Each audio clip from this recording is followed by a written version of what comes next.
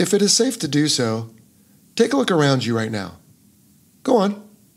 See that car in the lane next to you? It needs an oil change. That house across the street?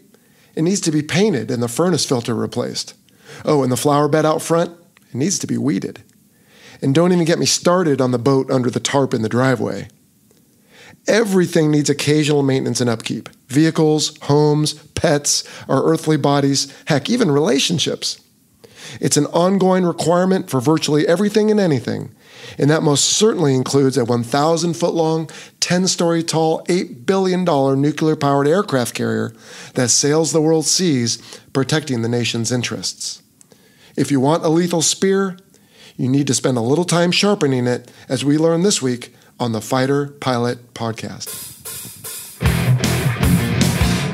Welcome to the Fighter Pilot Podcast, the internet radio show that explores the fascinating world of air combat, the aircraft, the weapon systems, and most importantly, the people.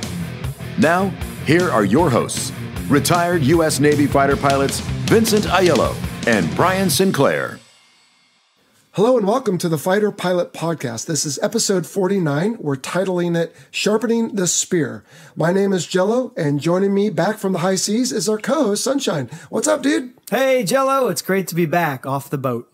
Well, I bet. So let's see. Two episodes ago, you told us you'd be gone for a little bit. We did the Panavia tornado without you. But now that you're back, remind us where you were and what you were doing. Yeah, absolutely. I spent about two weeks participating in something called Northern Edge. It's an exercise, joint exercise between the Air Force and the Navy. It took place in the vicinity of Alaska. I spent a week on the carrier, as in the Theodore Roosevelt, and I spent a week on the beach, or there at the uh, JBER, we call it. So it's a joint base Elmendorf Richardson. And now on the boat, I had a great opportunity to train some of the younger pilots and actually some of the older pilots on a relatively new weapon called JSOW C1, which is a network enabled weapon. So it's a, basically it's your typical precision guided munition that we use anti-surface, but we threw in a radio to it. So now it's got Wi-Fi capability. So you can update the target as you launch it and it's, it's running downrange. That's amazing. Now, granted, you were only on the carrier for a week, but what's it like to be out there and not flying? That's got to be miserable. Well, yeah, you bring up a good point. So, last time I was on a boat and we were underway was 2010. And I must admit wow. that, yeah, I must admit that it smells, tastes, looks, and feels the same as I remember it. So, but you know what I was missing was absolutely that basically hour and a half of liberty, if you will. Uh, yes. Yeah, I did support some launches from the tower. So I'd go up, see the light of day, see some of my buddies up there, like the uh, the mini and whatnot, and then um, watch the guys as they took off. And we we'd support the launches, make sure the weapons are working on deck, and then just watching those launches, man, brought back just a flood of great memories.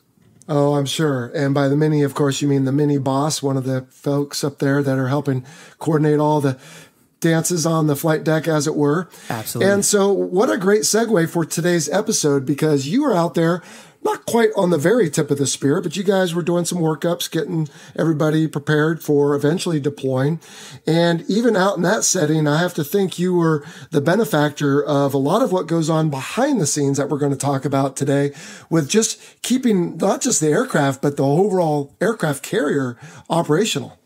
Yeah, there was a lot of opportunity to see the guys making sure that the boat works. I mean, all the different life support systems on board is pretty crazy even saw them painting hatches and whatnot, just getting things ready for the deployment that's coming up down the road. Well, it never ends. You know, it's a nonstop process, and that's what we'll talk all about here in our interview coming up in just a little bit. Yeah, but hey, Jill, I want to take a little segue here, and uh, on a more serious note, can you tell us about your dad? Uh, I appreciate you asking. So, yes, my 93 year old father, who's a World War II veteran, is not doing real well. He stopped eating a few days ago. Oh. And according to my sister, who's there helping him, he's not drinking now, which, of oh, course, oh won't work out too well. Yeah. So, we all know it's coming. I mean, it it's coming someday for all of us, uh, sooner, presumably, for some than others. And we're just kind of holding our breath. But yeah, it is, uh, it's kind of sad to, to watch him deteriorate. I appreciate you asking. You bet, man. I'm, I'm sorry to hear, and I, I will keep him in my prayers. Uh, thank you very much. All right. Well, hey, let's uh, do some announcements, and then we have time today for some listener questions. Outstanding. Now, recently we had a musing post by our former guest Farva, the LSO Farva, that is, and uh, he reflected on Memorial Day. So we released that on Memorial Day, reflecting on what that holiday means. And we also released another behind the scenes video on our YouTube channel. This one again with our former guest Dud. And on that particular episode, we talked about some different aircraft carrier landing emergencies, such as some mishaps, barricades, and some last minute corrections that didn't go too well for one particular F 18. So head on over to our YouTube channel or Patreon to check those out. All right, Sunshine, we have time for some questions. Why don't I send the first one to you? This is from Andy. He wants to know how is a squadron organized? What additional duties do pilots have? And I presume he means pilots in, in the case of the two seat squadrons, the Wizzos. And he also goes on what non flying billets are there? What ranks and rates fulfill all these billets? And are Marine squadrons organized in the same way? So we could be here all day on this, but what are some high level stuff? Let's start at the top, Sunshine. Who's leading the squadron? And then talk to us about the middle management and their general roles, and then somewhat what the JOs are doing. Okay, yeah. So these additional duties, we traditionally coin them or call them ground jobs. And the mm-hmm. ground jobs, you're right. So the squadron is going to consist of anywhere from a fifth level officer, 05, all the way down to sometimes even an 01 will sneak in, maybe as an intel or a, a Wizzo, if you will. So Yep. Starting at the top, though, the 05, you got the skipper or the commanding officer and then the executive officer. And this is where it's going to change a little or be a little different between the Navy and the Marine Corps. So in the Navy, the XO is going to fleet up into the skipper position, whereas in the Marine Corps squadrons, the XO position is more of a rotation for the department heads, which leads me into the next tier, if you will, stepping down. That would be the 04 tier. And that's going to mm-hmm. be the, the middle management, we'll call it. And those would be the department right. heads. And the departments could be operations, maintenance, safety, and administration, typically, right. plus yep. or minus a couple. And stepping down below the 04s would be the 03s, the 01s, and those are going to be the division officer and branch officer billets, if you will. So they're going to be in charge of smaller work centers, and they're going to work obviously for the uh, department heads, and the department heads work for the CO and XO. That's right. So in the operations department, for example, you might have the folks doing the flight schedule every day. Absolutely. You got flight schedule and then in maintenance, as you could imagine, they're maintaining the ready basic aircraft requirements. So making sure all the jets are ready to go. That's right. And then you might have in safety a NATOPS officer, and then you might have someone in admin. And it's worth pointing out that in a typical squadron of single seat aircraft, you might have maybe 16 pilots or so. Mm-hmm. But in a two seat squadron, you'll have double that. So you might have assistants of everything, like an assistant operations officer or assistant training officer. And then, of course, you'll have different folks running around in maintenance. So it just depends on the size of your squadron. And then, of course, below that, within the departments, you've got your chief petty officers and all of your sailors, all the way down to your new recruits that show up fresh out of uh, boot camp. Yeah, and Jello, you bring up a good point about the number of air crew. We'll call it the ready room content, either the, the two seat versus the one seat. But regardless of how many officers they have, they still have the same number of critical billets. Now, you may have the assistants, as you mentioned, but did you notice on the carrier that the single seat guys tended to have less free time than the dual seat guys? Well, anecdotally, yes, but that was because I was looking at it from that side of the fence. And so it could have been different. I never was deployed in a two seat squadron. I flew with those guys as air wing operations officer. But uh, yeah, I mean, it did seem like there was a lot more of them, but I have to think they kept them gainfully employed. Oh, I agree too. Just I think sometimes there's a uh, a perception, and people may ask, "Hey, as a single seat versus two seat, is it the same number of jobs?" And I would say everyone is very gainfully employed in both squadrons. Yep, I agree. Good question, Andy. Cool. Okay, next one is from Alex. Alex asks Despite being part of a big team and having a live connection via data link to your fellows, as in fellow pilots, I guess fellow air crew, mm-hmm. did you ever have a moment where you felt alone in your cockpit? Well, first off, Alex, I think it's worth pointing out that we don't always jump into the data link net. There's a bit of requirement for that on the card that you load up that you carry with you into the aircraft to make sure that you have the right cryptology and everything is ready to go. And so we don't always get into the net as it's called. Now, Sunshine, I don't know about you, but for me, the loneliest to Alex's point that I ever was, was I decided it would be a good idea one time returning from a BFM det at Top Gun from Key West. Instead of going around the coast of Florida, Okay. I made a run for it. Went from Key West direct to Houston. And in the middle of the Gulf of Mexico, you're not talking to anyone. No. And I was flying by myself and it was quiet for about 20 minutes. And I tell you, that was eerie because I thought, man, if I have a problem right now, I hope they come find me because I, you know, so when I got to the next agency and could reach someone in Houston Center, uh, it was kind of nice to hear them. So yeah, that was about the only time. But other than that, you generally always have a wingman to talk to or someone who's controlling you. But uh, do you ever have anything like that? No, nothing of that kind of uh, protracted time, I'd say. But for me, even just the night launches and uh, also prior to recovery at night, the night marshal stack, even though I know there are guys above and below me, I kind of felt like I was on my own, just kind of setting up my cockpit for the, the final hurrah, which would be the landing. And also at the depot. So, Jello, when you flew at the depot, I know we flew in the open. It wasn't very far off the coast, but did you ever feel kind of alone and unafraid there? Uh, I wouldn't say alone, but I guess it was just nice to get away, right? So it'd be like if you're in a crowd all the time and there's some place you can just move away and you can still see the crowd, but you can just get a little peace and quiet. I definitely felt that, particularly, I'm sure you felt the same thing, is toward the end of our careers. Of course, there was a bit of, oh, I don't know, um, nostalgia maybe that every time I went out flying, I just kind of knew it was almost over, and so that added to the emotional side of it. But yeah, I think I think you're right. And, and to your point about the night landings, you're right. You know, that's as I've said before, kind of as close to heaven as you can get on Earth is when you're up there waiting for the uh, sun to set and it's your turn to come down. Uh, but you know, Marshall is always transmitting, or someone's always calling, so you're never truly alone in that case. Good point, indeed. All right, next. Hey, you know what? I started playing this phone call last week, but I punted. So uh, let's let you hear it. Hi, Joe. This is Paul calling from Los Angeles. I got a question for Sunshine. Would a plane with anhedral wings have more problems pulling G's because the wings are already in a sort of downward position? Conversely, would a plane with dihedral wings have a more stable structure and be able to support pulling higher G's?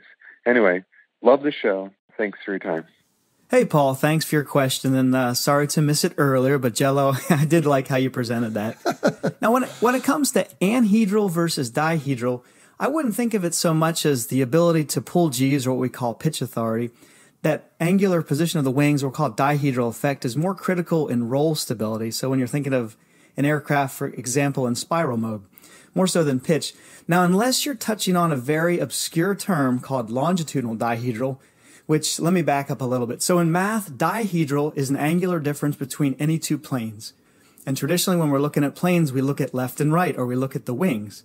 But you could also look fore and aft. So you could look at the zero lift line plane of the wing and the zero lift line plane of the horizontal stab or stabilizer.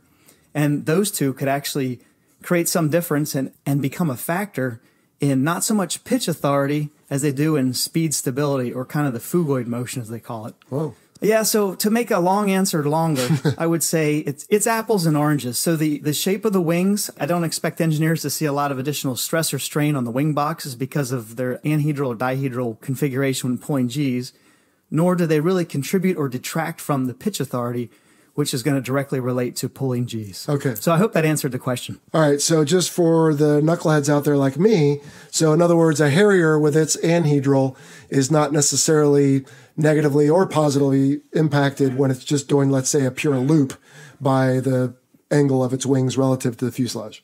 Yeah, I would think more of pitch authority. Think of the control surfaces along the longitudinal axis, like the canards or the stabilators or the uh, horiz- uh, excuse me elevators. You got it. Okay. All right. Excellent. All right. Next up is Brian Biddle. He's one of our friends from Orange County, California. He's got a simulator up there that he hires out for folks. And he asks Do Navy fighter pilots partake in the Jeremiah Weed like the Air Force fighter pilots? Sunshine, I'm going to answer this one quickly because I have no idea what Jeremiah Weed is. I thought I heard it was a whiskey, but he says to partake in the Jeremiah Weed. So I don't know. What do you know about this? Yeah, so uh, good old bourbon whiskey, as in, uh, I always think of this kind of whiskey as made in Kentucky. So bourbon whiskey. Okay. It's a, it's, it's, it's pretty potent there at 90 proof. Oof. And then there's also another version. It's 100 proof that's made out of Connecticut. But, um, I'll tell you what, Jello, whenever I think of Jeremiah Weed, I think of the song and then I think of the band Dos Gringos. So have you ever heard of those guys? Oh yeah, Yeah. So anyway, so I would say uh, Jeremiah Weed, not so much. Yeah, I'm more of a gentleman Jack kind of guy. But uh, when it comes to Dos Gringos, that's something that the Air Force pilots and the Navy pilots tend to share and enjoy. That would be the the lyrics, the delightful lyrics of Snooze and uh, Trip. I think their names are call signs. well maybe we should get those guys on the show. There you go. cool. All right. The next question is from Grigori Kaplan in Israel. All right. And he asked Jello, could you please describe in detail how pilots from different squadrons interact with each other? Are they permitted to come into each other's ready rooms? Are there any joint meetings? Was it possible that some experienced Tomcat pilot could teach some air to air tactics to a Hornet pilot or vice versa? And is it possible if a pilot for some reason is having a flight on a plane that belongs to another squadron of the same type? Any kind of interesting details would be appreciated. Well, good question, Grigori. So I never had any conflict with pilots from other squadrons. I mean, sure, there's a healthy little rivalry between you want to be the best squadron, but when it comes right down to it, you could have just as easily been in VFA X as Y. And so everyone's trying to do their best, and that's a good thing. So I, I, never had any trouble with interactions with others. I mean, are there some people you get along naturally better with than others? Sure. But I never had any trouble. Um, yes, you are permitted into others' ready rooms, and it's quite often the case when you are flying together that you will go down there to brief, even if it's just a quick coordination brief. Typically, you wouldn't just pop into someone else's ready room without needing some sort of business if you weren't there for a brief. But if you were looking for someone, you could certainly pop in and, and take care of business. Uh, sure, there are joint meetings all the time. There are joint briefings. They can happen in each other's ready rooms or in CVIC, as we've called it before on the show. And yes, not just Tomcat pilots, but any other pilot could brief other ready rooms. In fact, when I left Top Gun and was a training officer in VFA 97, I remember going around to some of the other squadrons on no fly days and doing some chalk talks on different subjects just because I had just left the burning bush, if you will. And so I was as fresh on that information as anyone would be. And so I was wanting to share that with the fleet. That's the whole point of Top Gun. And lastly, there, Sunshine, I can remember maybe once or twice in my career, someone from, let's say, VFA 82 flying a VFA 86 jet back when we both flew Charlies on the John F. Kennedy or George Washington in the late 90s. But generally, that wasn't the case. It was only if one squadron maybe was really on its heels maintenance wise, or if what's called a red stripe comes out where it downs all of one particular lot of jets. And so, for whatever reason, your squadron, your sister squadron, let's say, wasn't able to fly, but you wanted to keep them proficient in the day or two while that red stripe was being taken care of. You might help each other out then, but I think that was pretty rare. Sunshine, what do you got to add to all that? Nah, pretty much same experience. I agree with you. I would almost think of on the carrier someone else's ready rooms as your friend's house, right? So you can drop in, say hi, but you you gotta, you know, usually you have a reason and you don't hang out too long. But it's all like you said earlier, right? We're all on the same team, so That's right. not that big. yeah, you don't just uh, you don't just pop into their living room and kick your feet What's up? Yeah, there's a little bit of decorum involved. Yeah, exactly. That's right. All right. So, last question for today, Sunshine, I'll put it to you. It's from Emory at the University of Central Florida. How much of an advantage are academy officers over ROTC officers? I've heard once you get to an undergraduate pilot training, it doesn't matter where you're commissioned from, just how well you can handle the stick. So, Sunshine, what it sounds like Emory is asking is how much of a difference does it make in flight school? But let me expand the question to you and say, how much does it matter in the rest of your career? Yeah. So Emery, thanks for the question. And Jello being an, an ROTC product as you are, I'm going to say that the Academy guys are just playing better. So uh, that's the end. I'm just kidding. Not at all. Not at all. That is not the case in the least. So the advantages that I found during my career of being an Academy guy is when you get to flight school, you have a bigger cadre of existing friends. Not to say that you're not going to make some great friendships in flight school. So really very little difference there. And then after I retired, the networking piece was huge, especially in finding a follow on job. So the academy to me is a great place to be from, as all the academy guys pretty much say. And that's because of the networking potential that is now there. Mm. But during flight school and during my commission service of 21 years, no big advantage of being an academy versus ROTC, even versus OCS. How about you, Jello? Well, the only thing I would slightly disagree with on that is when you are an ROTC student, you put on your uniform twice a week and you might have some other excursions and certainly over the summer you do, but so do the academy guys. Okay. But you're not really living it day in and day out. So for me, there was a bit of an adjustment Oh. when I was commissioned and moved to Pensacola because suddenly I was living it day in and day out. So it's possible, Oh, okay. although I only have my one experience, that the guys coming from the academy, I mean, they were they were locked on. They knew all about the military and what you do and don't do, and and they've lived it, breathed it, you know, ate it, slept it for the last four years. Whereas I was maybe going through some growing pains day in and day out. So, but but again, it's hard to ever do a scientific test on that, I guess, because a person only gets the one experience or the other. Uh, but the other thing I would add is that it seems to me anecdotally that a lot of admirals are from the academy. And I don't know if it just, the experience there kind of imbues itself into you and they are more likely to percolate into the top tiers. But it seems to me that you'll see a lot of admirals who are from the academy and you almost say, yeah, no surprise. And so I, I don't know if that is causal or just correlation or what, but, um, you know, I, I will, I will admit I tried to go to the academy and was not accepted. I think I've mentioned that before on the show. So I always felt like maybe if you compare the two, the academy guy had the leg up. But when it comes right down to it, to your point, Sunshine, you get to flight school. If you and I fly the exact same flight and it's right on the edge of is this or is this not passing, they're not going to give you a pass and me a fail just because you went to the academy and I went to the ROTC. It either meets the standards or it doesn't. It doesn't matter who you are, where you're from, what you look like, what's in your underwear.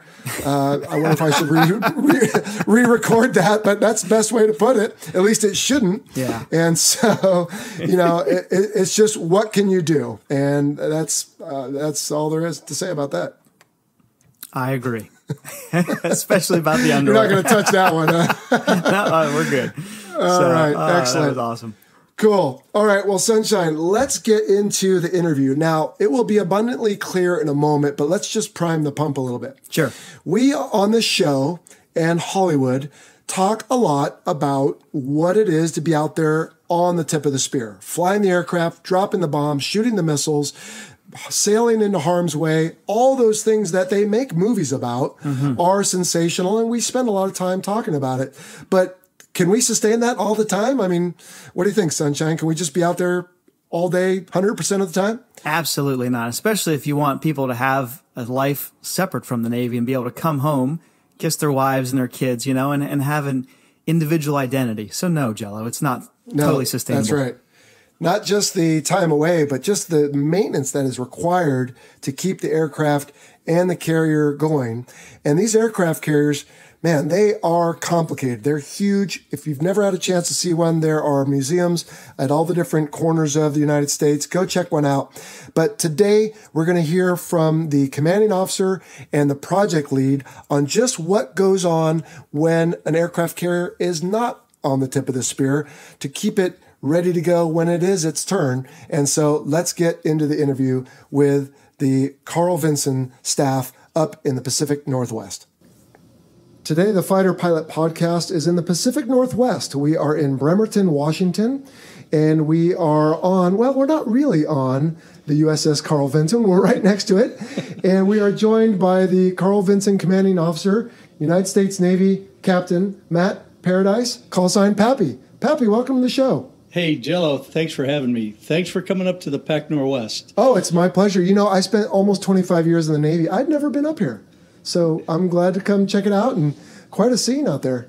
Yeah, it is. It's uh, it's absolutely an industrial complex. We are grinding sausage like uh, like gangbusters down there. from uh, from scaffolding, uh, we're we're ripping parts off the ship. It's uh, things are really heating up down there. It's good to see. Well, thank you. It's good to be here, and that really is the theme of the discussion today. Is we spend so much time on this show talking about the very tip of the spear, and most listeners and viewers out there only think of what you see on the news or in movies, but there's a lot that goes on behind that. But before we find out about that, let's find out about you. Who are you? Where are you from? And what have you been doing in the Navy? What are you doing now? Yeah, so believe it or not, the uh, Pac Northwest is my home. I grew up in Tacoma, specifically Lakewood, went to high school here, and went to University of Washington. Part one, I guess I should say. uh, had a great time. Didn't do a lot of studying. Uh-oh. And so very quickly found myself uh, enlisting in the Navy and heading down to San Diego. From there, I saw all these guys running around with boats on their heads, and that looked like a pretty good gig. And so I went to BUD/S, Class 138, and then eventually to SEAL Team 2, where I was uh, in a platoon for a workup cycle, a deployment cycle, and then back into the training department where I got picked up for enlisted commissioning program. Excellent. So, University of Washington Part Two, much more mature, did a lot more studying, and then got my commission in, I guess, 92. And I'd always wanted to be a pilot. Certainly, that's uh, sort of uh, my head was always uh, up looking in the sky when I was a kid. And so I was pretty dedicated on the second time around and uh, got myself into flight school. I made it through flight school, uh, uh, selected Hornets, and went to Lemoore uh, went through the Charlie RAG there, and then on into a squadron. Did my squadron tour. Went to Pax River. Went through test pilot school. A couple years of developmental test out at VX twenty three, and then uh, after that, I went to Japan as a CAG paddles. Uh, stayed out there for my department head tour, and then straight to Belgium for my joint tour. After that, selected for commanding officer and was the skipper of uh, VFA 34 out in Oceana. And so after that tour, selected nuclear power, took a long time learning about neutrons and uh, all the technical aspects of nuclear power, and then uh, fast forward uh, an XO tour, a deep draft tour. Here I am as commanding officer of Carl Vinson. And what an honor that must be. I can't figure out how we did not cross paths prior to today because I also was commissioned in 92, also went straight to F 18s, but I went to Cecil and then out to Fallon and probably was in Lemoore after you when you were in Japan. So, all right, well, somewhere we might have bumped into each other at a tailhook or O Club or something. but anyway, it's good to come up and meet you. And I just want to point out, as you know, on the show, we try to explain acronyms that you and I take for granted. But BUD/S being the basic underwater demolition slash SEAL training course, six months, very arduous. The fact that you made it through that is a testament to your uh, hard work. Apparently, at that point on, because like you said, you're uh, University of Washington Part One. All right, cool. Yep. Well, we are going to talk about your experiences here in the uh, shipyard, if you will, in Bremerton. And, you know, as the podcast listeners know, my Navy career began and ended on Carl Vinson. My TA4, I'm guessing you also qualified in that airplane? I, I actually was a uh, T45 guy the whole oh, way through. Okay. One of the one of the first classes, okay. yeah. I was they offered that to us and I wanted to fly the Skyhawk while there was still a chance. So yeah. my very first trap in the Navy was aboard the Carl Vinson off the coast of San Diego in 1995. And Pappy, I'm afraid to admit, but it was a one wire. and uh, and then at the end of 2016, another Pappy, who was the XO of the time at the time, he allowed me, as did the rest of the ship's leadership, to hold my retirement ceremony on Carl Vinson.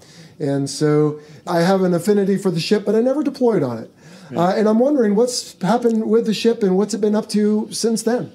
Well, I could tell you 2018 was a busy year. Okay. Uh, we spent, uh, I think, 193 days away at sea. Uh, that included a three month deployment. During that deployment, we went to Vietnam, first aircraft carrier to pull into Vietnam for over 40 years. Wow. That was pretty exciting. Um, after that, uh, there's a couple CQ uh, dets out there kind of mixed in. Mm-hmm. Uh, we went on RIMPAC after that, Rim of the Pacific, 50 surface ships, 26 nations, uh, and pretty big exercise. It was it was uh, a lot of fun. As we were getting ready to go into the yards, we did a sustainment exercise, and so as uh, our training and readiness was sort of uh, timing out, if you will. Uh, you know, there's you're on the tip of the spear all the way up until you're not, until you're in the shipyards, and so that sustainment exercise was designed to uh, get the battle group together one last time to practice all the things that we need to do to be uh, combat ready. Uh, and then early in this year, we came up to the Great Northwest, uh, went over to Pier Delta on the other side of the Nimitz, and we got we got ready to go. So we unloaded all the cars.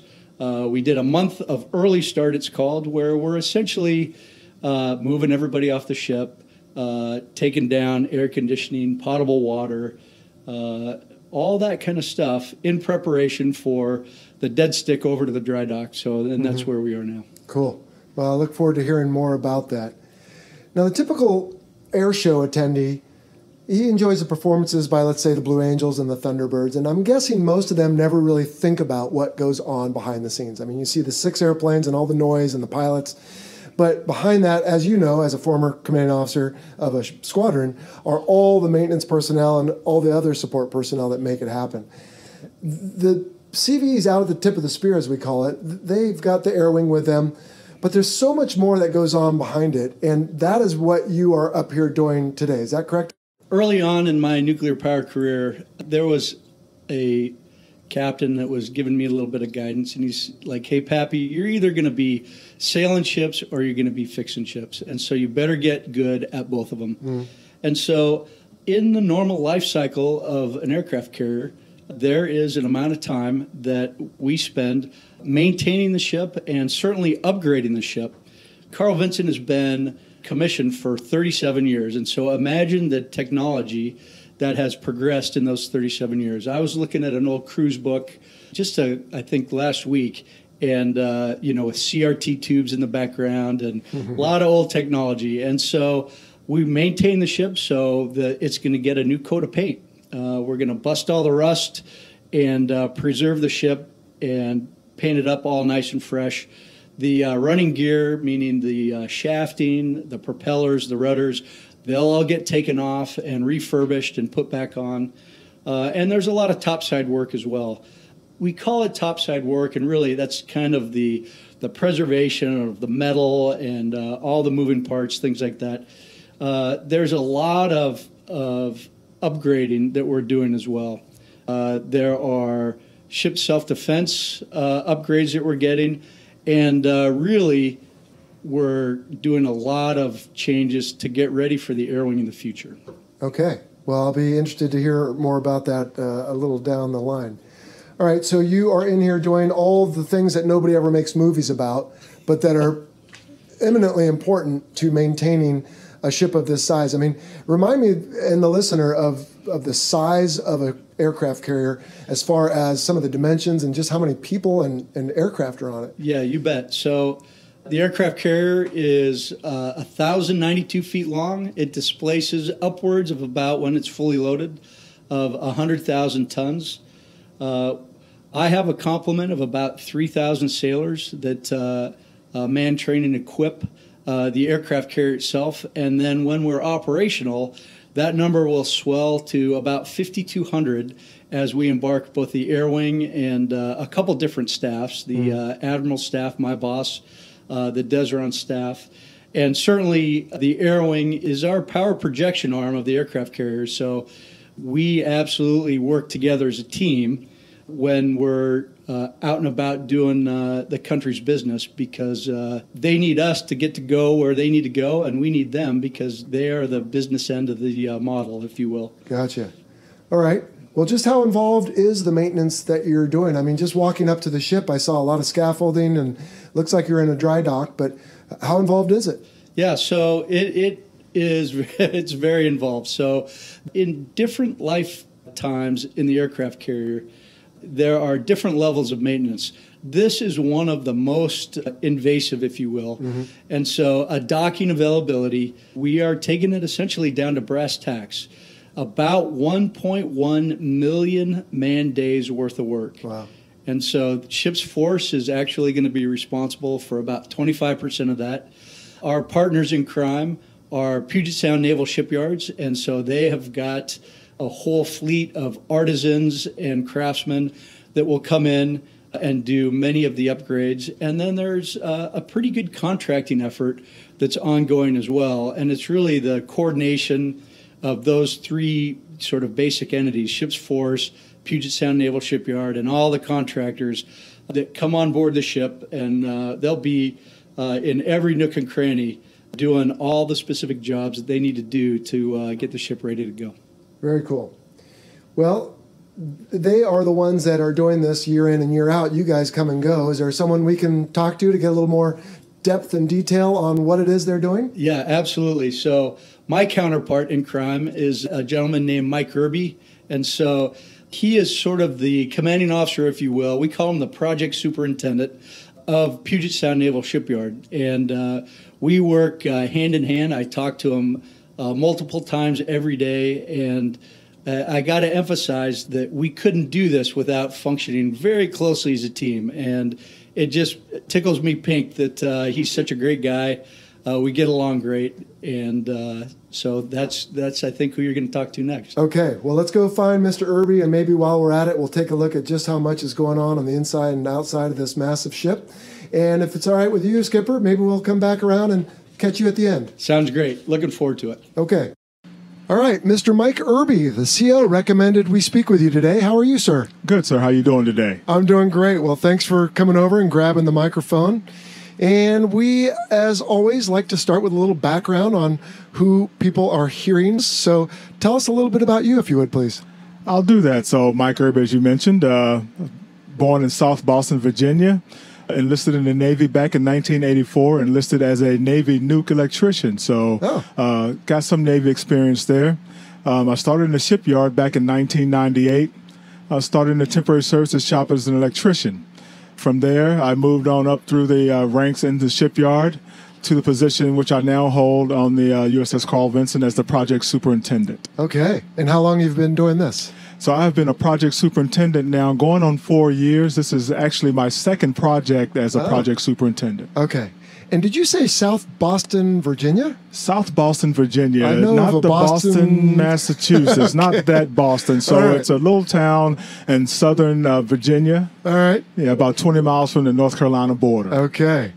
Excellent. And how long did you spend on active duty? So I spent six years Six in the years, Navy, think did one tour, and, and, and got out of the Navy. Uh, I got the experience that I thought I needed, and uh, I was ready to join the civilian All right.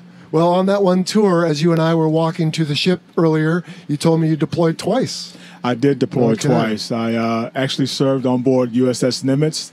Uh, did my four years at sea on Nimitz with two, two right. uh, actually tours. There. I also did two tours. My guess is yours were before mine. So, at any rate, we won't spend too much time comparing notes on that. But the Nimitz is parked right next to us here. yes, next door. Uh, She just completed a maintenance availability as well, All similar right. to the one which we're currently undergoing on Carl Vinson. Cool. And speaking of that, this is not the Carl Vinson's first time being supported by the Puget Sound Naval Shipyard. Is that correct? That is correct. It is not. We have been supporting Carl Vinson in one way, shape, or form uh, since 1990, actually. Okay. And in what different types of support can you provide generally? So we provide uh, modernization support, Mm-hmm. we provide maintenance support, and uh, general upkeeps as the ship uh, arrives in home port. We provide any type of emergent work which she may need as well. Okay. So it's not just what we're going through now, but let's touch base on that a little bit. What is the scope of work, if you will, or what all is being done? I mean, just walking in here, I see scaffolding everywhere. The ship is in dry dock, so it's as dry as can be, and it looks quite extensive from my point of view. So it is quite extensive. So during this availability, we will undergo scheduled periodic maintenance on major components like rudders, shafts, and tanks. We'll upgrade crew living spaces. The ship will undergo preservation to its hull. We'll upgrade the combat system suite and prepare to support the air wing of the future as well. The planned work package for Carl Vinson is expected to include more than 1.1 million man days of work by the maintenance team, which consists of Puget Sound Naval Shipyard and Intermediate Maintenance Facility, Ship's Force, and various other contractors and alteration installation teams. It's a massive undertaking, I guess. but we're the right team for the job as we are the maintenance professionals, and we have a solid plan to succeed. Uh-huh. Teamwork among the members of PSNS and IMF and the ship is critical, both for the success of the work and the safety of everyone involved. And safety is paramount to our organization. Sure. So this teamwork includes over 630,000 man days of work performed by the shipyard team, 250,000 man days of work performed by ship's force, and over 255,000 man days of work performed by contractors and other maintenance providers. I mean, these are a lot of big numbers. I mean, I think it suffices to say we have a lot of people all working very hard for a long period of time. And in the end, correct me if I'm wrong, Mike, the carrier is going to be almost as good as new, arguably better, perhaps. Yeah, I, I would say better. Um, so by the end of this project, virtually every nook and cranny on Carl Vinson will be updated and ready for the ship's next mission. So uh, among some of the larger efforts which we'll do will be, I talked about the preservation efforts. Uh-huh. So we're preserving over 75 tanks on the ship. We'll be painting and refurbishing more than 700 spaces shipboard. We'll be installing over 2,000 what we call racks. They're actually bunks that our sailors sleep on while they're underway and living Yeah. on the ship. Beds for normal people, Beds but we for normal call people. them We call them racks. something different. Okay. Yes, sir. We'll be updating the electrical control system on the ship. We'll be blasting and painting the entire external surface of the ship. We will also be aligning and preserving the ship's catapults, which are utilized to, to uh, deploy the airplanes. We'll be removing and overhauling all shafts and both rudders on the ship, and we'll be installing an updated combat system suite as well. So, Mike, I began my podcasting as a guest on a show about muscle cars. When I watch sometimes the television shows, you'll see a car that is taken down almost to the nut and bolt, and they will powder coat the frame and they'll rebuild the engine, a new interior. Is that effectively what's going on here? Are we doing a frame up restoration on the Carl Vinson? for the most part, it's very similar to what we've been doing on Carl Vinson, going down, like you said, t- to mm-hmm. the nuts and bolts of, of the of the ship, Right. and refurbishing major systems, major components, and making her pretty much like new. Yeah. Well, and you said at the beginning 75 tanks. Now, in a military show like this, someone might mistakenly think like the M1 A1 Abrams tank, but I think you mean what? The water tanks and So I'm talking about various uh, fuel tanks, various water tanks, various collection holding system tanks for Okay. use by personnel when they're living on board. okay, because that's an important part of what we do and we're out for 6, 8, sometimes longer months. Then we need the water, we need the fuel, and to your point, we need the racks to sleep in. And so all that gets updated and improved. But what we're not doing, correct me if I'm wrong, is replacing systems. In other words, some of the new carriers have electromagnetic technology for the catapults and arresting gear. We're not replacing steam on this ship with those, are we?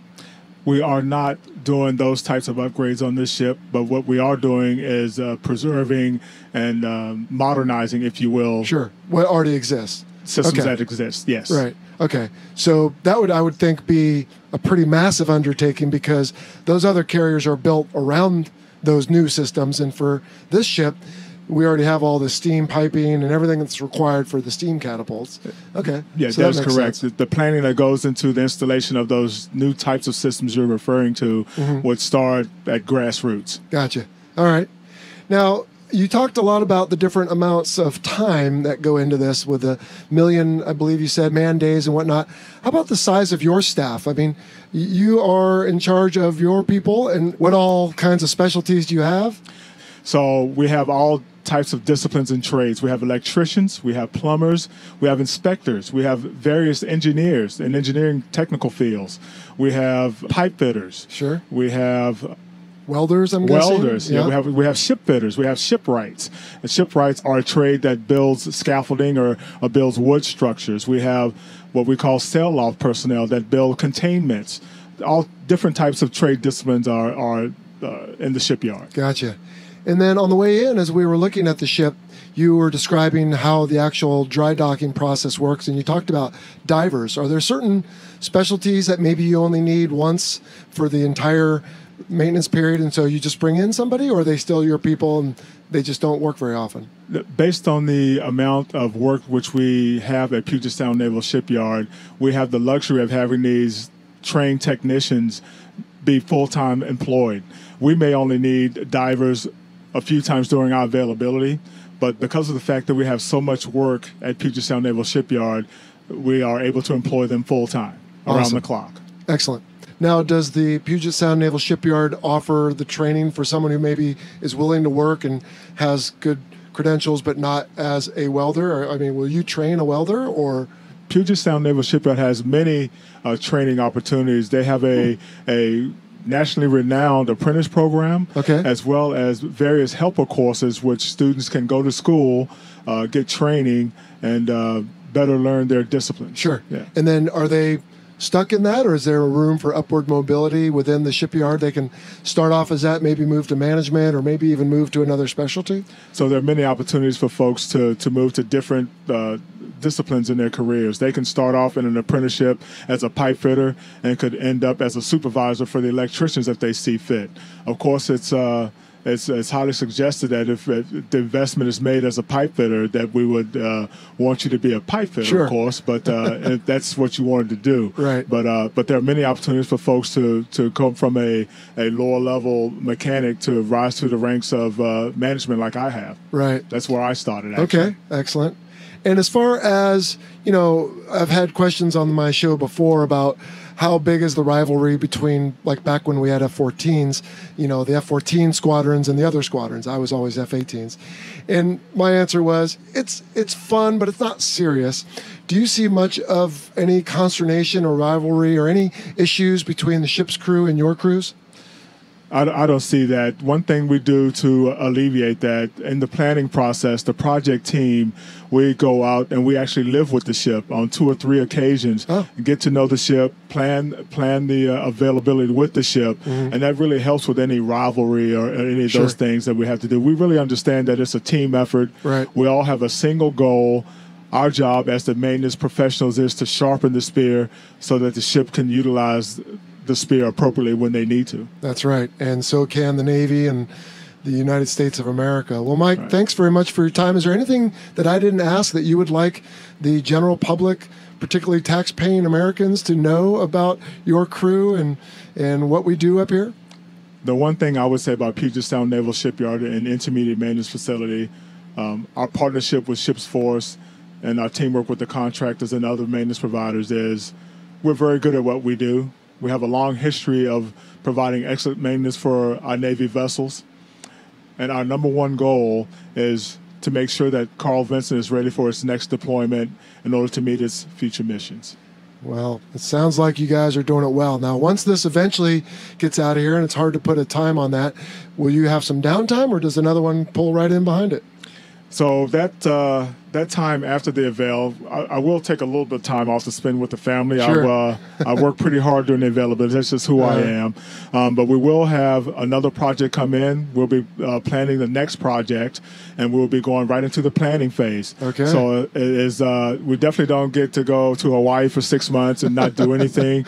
we stay at it. Like I said, we're maintenance professionals, and this is what we do for a living. Well, you do it well, and you are a national asset. I mean, we could not go do, like you said so eloquently, what we do out at the tip of the spear if you don't spend some time sharpening it. So, Mike, thanks very much for your time. I've really learned a lot, and I hope the listener has too. All right. Thanks for having me. You're welcome.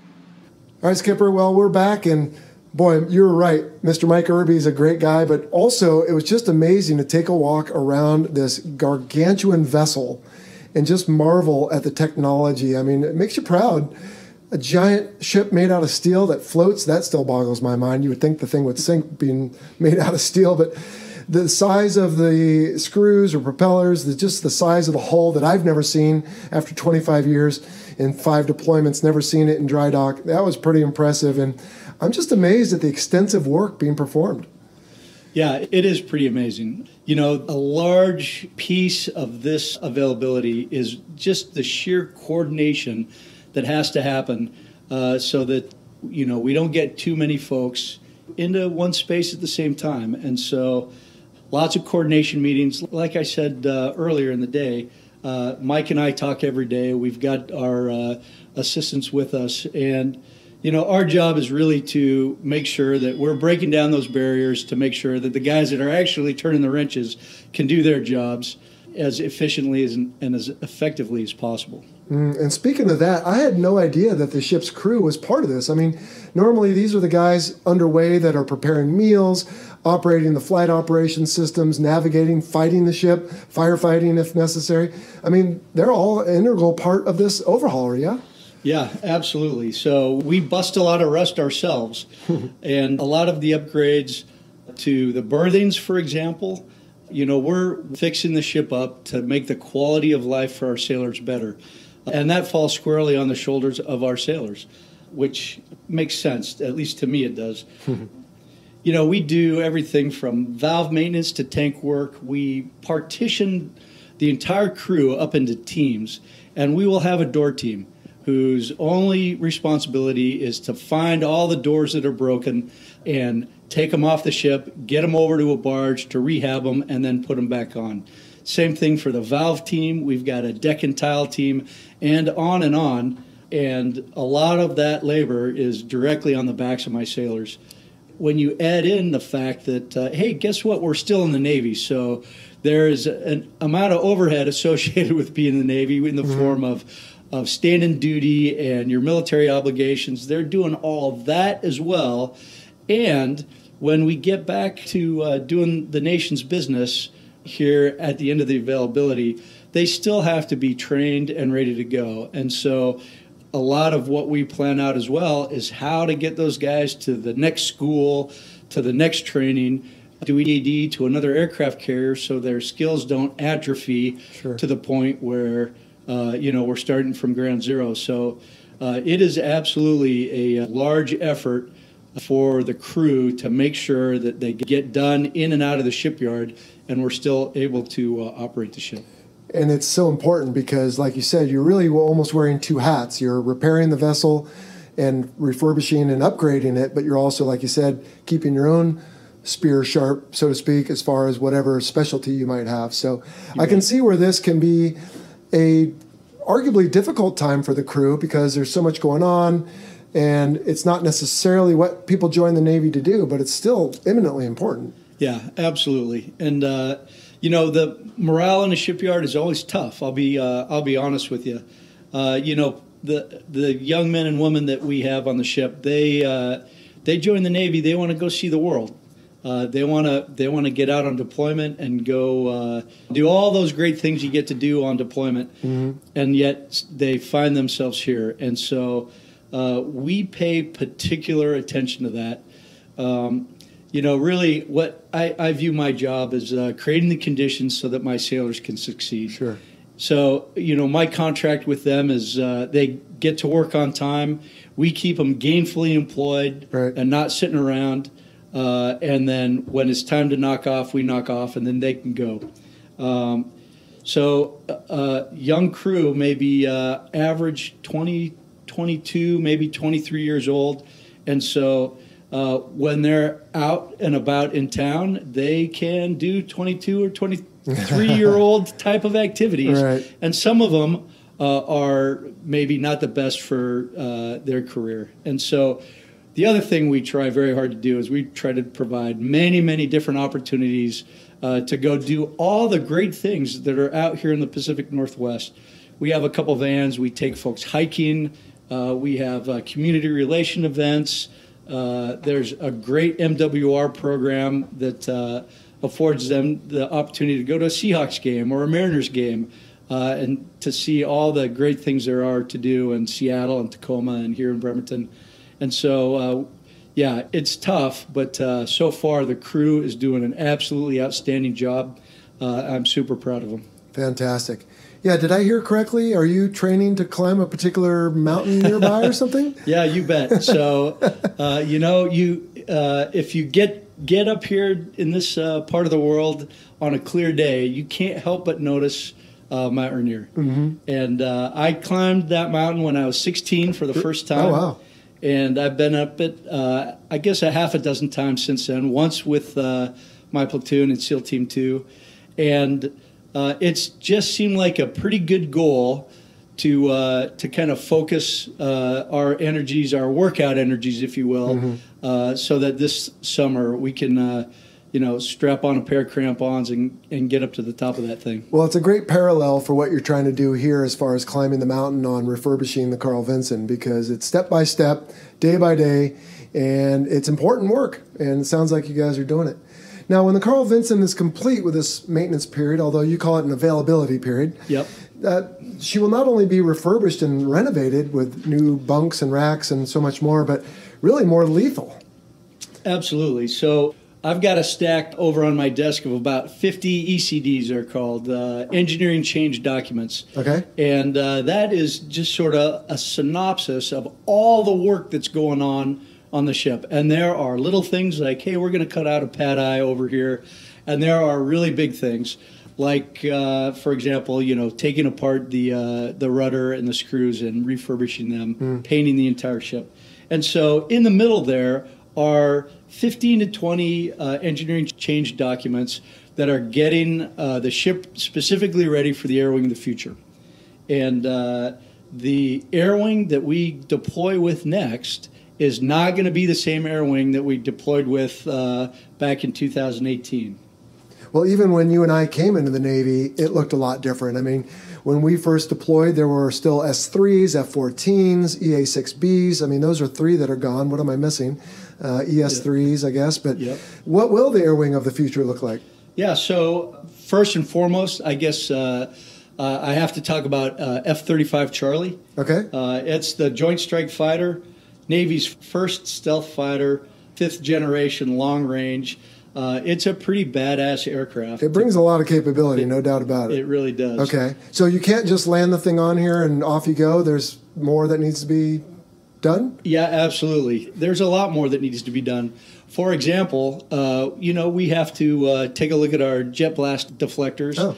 and uh, just beef those up a little bit. It's a single engine aircraft, as you know, pretty big engine, and so we just got to make sure we've got the right cooling flow. Okay. It's things like that that the fleet integration team uh, has taken a look at uh, and putting together these uh, engineering changes so that we can, you know, operate the F-35 uh, very well right out of the gate. All right. What other aircraft might be in the air wing of the future? Yeah, so there's the uh, CMV-22, the Osprey. So this is that big tilt rotor Mm-hmm. Sure. aircraft, and that's going to replace uh, the COD, the carrier onboard delivery. The uh, C2. yeah, the C2. Uh, and so that's a, that airframe is getting pretty old, and so the Osprey is going to uh, replace it. It's uh, new. Uh, it's got longer legs. It's a pretty pretty capable aircraft, and so uh, it'll be exciting to see it uh, back on the ship. Sure. And then I have to think that some part of the air wing of the future will be platforms already present, such as the Super Hornet, the Growler, perhaps each with incremental changes to their own airframes. But uh, any other aircraft uh, changes or anything interesting? Yeah, absolutely. So uh, you're, at, you're you're right. We'll have uh, our our uh, our squadrons of Super Hornets as well, both single and uh, and two seat variants, uh, along with the E2D. And so uh, the E2 is a venerable old aircraft. It's been around for a long, long time, uh, and uh, despite all the upgrades, it still looks the same. It's still got the the, the dome on top. Uh, the Delta is uh, is first of all, it's our newest variant. Uh, it's got a state of the art radar. Uh, it's probably a, a two generation leap in the capability, and uh, gone are the days that uh, that the operator in the back of the E2 is looking at a scope and talking to uh, a single airplane. Uh, you have to really, uh, when you talk about the E2D, you really have to think battle space management now. Okay. Uh, and the processing power, the technology inherent uh, in all our platforms, including the E2D, is really uh, all that information is getting networked together.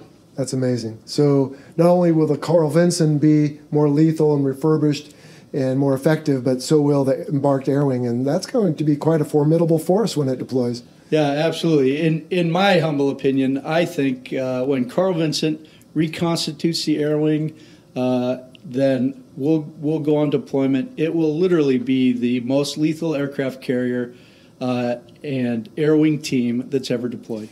Now, on a personal note, Pappy, will you get a chance to see that? I know tours on a carrier as a CO can be kind of fleeting. Are you going to spend most of it in the shipyard, unfortunately? You know, it, unfortunately, I am. Uh, I'll go back to what I said before. You're either you're either sailing ships or you're fixing ships. Right.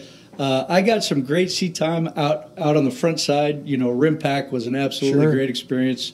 Uh, Sustex, all the CQs, watching the uh, uh, all the new guys uh, carrier qualify is actually very uh, enjoyable. Good. It really is. And uh, so yeah, so anyway, so up here now, uh, on into uh, 2020, and I think uh, I'll have the opportunity to uh, to get some more seat time on the backside. Hmm. Uh, how deep into workups that's going to go is Okay. anybody's guess, but Well- certainly not to deployment. We'll have to keep in touch with you um, and and see how that goes. All right. You bet. Well, I asked the same question to Mike Irby, so I'd like to ask you if you don't mind, because really we talked a lot on this particular episode about sharpening the spear and a lot of this unglamorous, unheralded, un-Hollywood-ish effort that goes into it.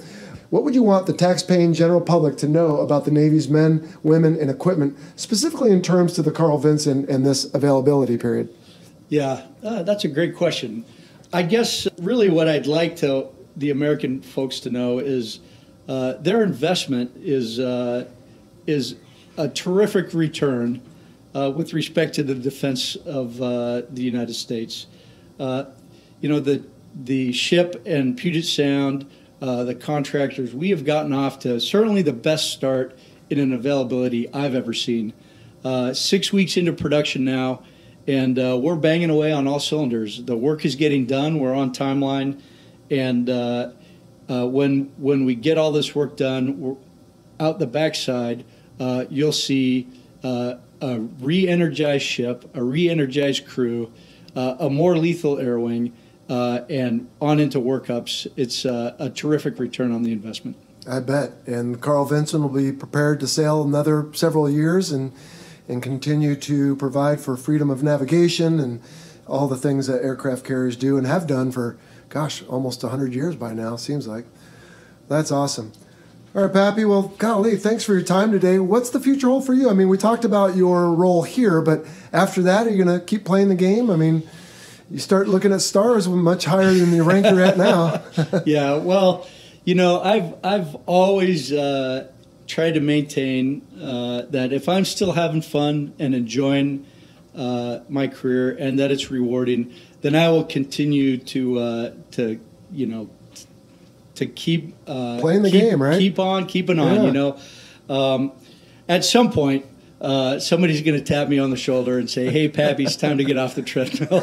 and uh, which one of those two things happens first, I don't know. But uh, I will tell you right now, uh, even though we're in a shipyard, uh, I just I just love it. I love talking to the the young men and women on the ship. I love to see the great things they're doing every day, and uh, and so uh, from my perspective, uh, I I don't see an end in sight. Excellent. Well, that is fantastic. Now, how many years of service are you up to at this point? Uh, I think I'm up to 34. Holy smokes. Yeah, that might time. be a new record for the Fighter Pilot podcast. I'll have to check. well, if I may be so bold, on behalf of your 3,000 sailors, I'd like to thank you for your leadership. On behalf of freedom loving people everywhere, I want to thank you for 34 years as both a SEAL and a pilot and a leader all around. I mean, that's impressive. And so, thank you for that. Thanks for your time today. And before I let you go, however, you've listened to the show. You know the deal. Yeah, yeah. We, ne- we need to know how someone came up with Pappy. Well, you know, it's it's funny. I wish I had a better story for you, but uh, you know, after by the time I got into flight school, uh, I, uh, as you know, uh, had a few years of, of enlisted time, and so I I showed up to flight school with a wife and uh, a couple kids, and so a little bit older. Uh, more focused maybe on uh, going home and uh, hanging out with uh, my son and daughter than uh, some of the other sort of normal exploits in in uh, flight school, and uh, hence Pappy. Uh, and then when I got to my first Geo Squadron, I just managed not to do anything stupid enough to get it changed. That comes up quite frequently on this show, so that's as good of an answer as I can get. And I think it's very similar to the other Pappy who we had on the show, who spoke of aircraft carriers, except with his, it had a little bit to do with his Hispanic um, heritage Yeah. and uh, the way his children uh, addressed him at a particular function, I believe it was. Roger. So awesome, Pappy. Well, thanks very much for your time today and telling us about what it means to make sure that the spear is sharp when we need it. And unless you got any parting shots, I think we can wrap this up and get out of here. no, I'm good. Uh, hey, Jell-O, thanks again for coming up here. It was great to talk to you, and uh, and yeah, I'm out on this end. Awesome. Hey Jell-O, what an interview. So I loved hearing both from Mike and from Pappy. And holy cow, Pappy, man, what, 34 years? Is that right of service? Holy cow, yes. A Navy SEAL, an aviator, a nuke, as we call them, and now an aircraft carrier CO. What a hero. And of course, he's about to go climb uh, Mount Rainier there in the Pacific Northwest. So, you know, that was a really interesting interview. They invited me up. And I was so glad to do that. And I hope that their sailors and the shipyard staff there that they understand how important their job is because it is so crucial for that carrier to go back out. Is it going to be a movie? No, probably not. Not even getting a lot of attention, but it's so vitally important to what they do. And I just want to comment on if parts of the conversation sounded a little choppy, we did end up with some audio challenges I had to work through, but also they had to be very careful. They had to talk to their bosses about what they can and mm-hmm. cannot share on a show like this. Because as with, for example, our air to air weapons episode several months back, we have to be careful not to give away too much to our potential adversaries. And so the precise amount of time, the precise work they're doing, the precise dollars and man hours and all that, they had to be a little bit vague because we just don't want to show too much of our hand. Yeah, the carrier is a I guess an understatement would be that it's a national asset, right? So you absolutely you don't want to spill the beans or what we call break operational security or OPSEC. Right. And so they were very cautious about that. But another thing that's interesting, Sunshine, is that most of our aircraft carriers today, including the one you were just out on, the Theodore Roosevelt, are named for former presidents. Now, this one is not. What can you tell us about who Carl Vinson was? Yeah, good old Carl Vinson. And I didn't know much about him till recently, but he was one of the longest serving U.S. congressmen. He uh, originated from Georgia and he served for 51 years. So from 1914 wow. to 1965. Yeah. He was the lead author of the Two Ocean Navy Act of 1940, which was instrumental in providing the capabilities that allow the U.S. to fight a successful World War II, specifically in the Pacific theater. Is he had a profound effect on developing modern Navy carrier-centered doctrine. So this guy was uh, obviously a very big advocate of Navy and an even bigger advocate of the carrier Navy, and hence he uh, has a ship named after him. Well, what greater honor is there than that in that regard? And how appropriate for this episode because he's behind the scenes. Most people have never heard of him, but he was getting it done so that everyone else could go out and fight the battles that are so well documented uh, in World War II. Absolutely, Jell-O. Cool. All right. Well, we will add any new terms that we might have to the usual glossary. And again, I want to thank Skipper Pappy and the Puget Sound Naval Shipyard for hosting me up there to check out the Carl Vinson.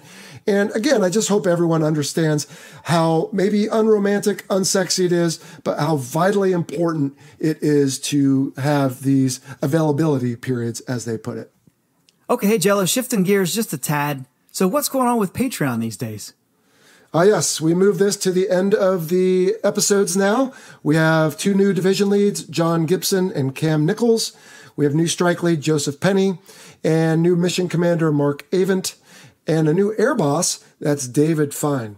Now, Sunshine, the mission commanders and air bosses, as you may know, have one of their perks being a 30 minute either Skype or telephone conversation with me. And in future months, what we might do is uh, get you on the horn with these Excellent. guys as well. I would love to. And yeah, I had a chance to talk with one of our air bosses, Jimmy, the other day, mm-hmm. and he was really cool. He's an enthusiastic dude.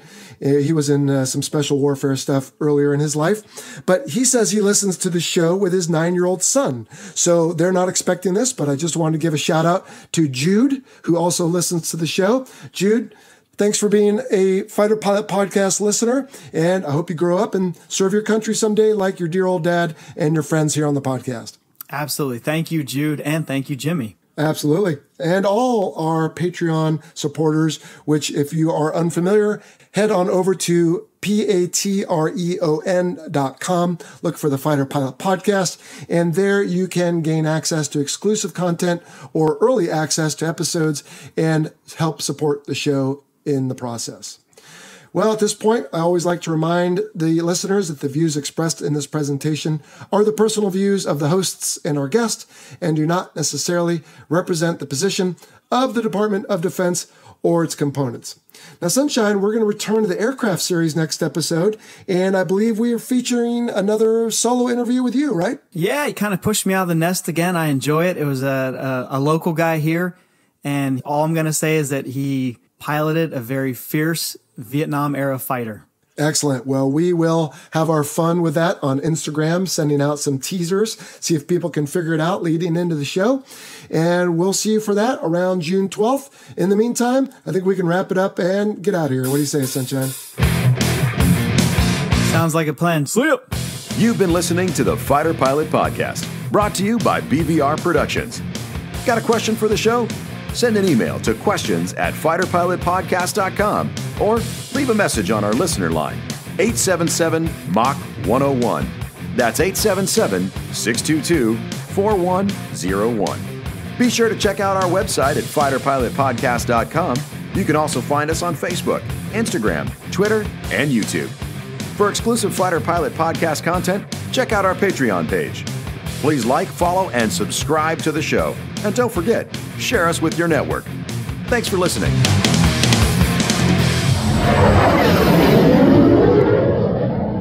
I love the underwear comment. I hope you keep it. I probably will, just for fun. oh, that's awesome. Okay.